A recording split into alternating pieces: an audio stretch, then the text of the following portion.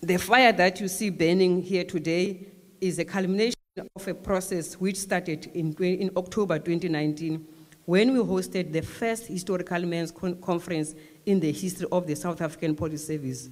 We named it Tetandoda Conference. Tetandoda! This conference eh, eh, eh, ine objectives ukuthi amadoda athethe phandle. That crusade emerged with critical resolution which set the tone for all our programs since the, that year to date. Sibonile utshintsho olukhoyo eh, emapoliseni ingxaki ze-sexual harassment zibheke ezantsi. So I must indicate that the work of the Men for Change was made uh, tough by the universal outbreak of uh, coronavirus, which also hit hard on shorelines and inlands of our country. Nevertheless, not even COVID was able to stop Men for Change from carrying out its mandate.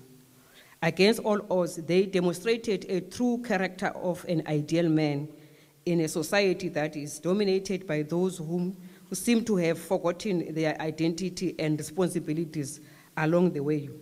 We are therefore here this morning as Men for Change host the um, annual general meeting, which started already yesterday.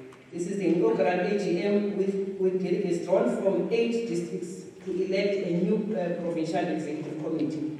As leadership, we took a resolve to join them today in order to reaffirm our support to their efforts and initiatives.